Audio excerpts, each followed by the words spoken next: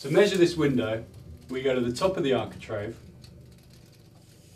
And in fact, I think on this occasion it's going to be easy to go behind. So you go behind the blind and to the bottom of the sill. Okay, so that's your height.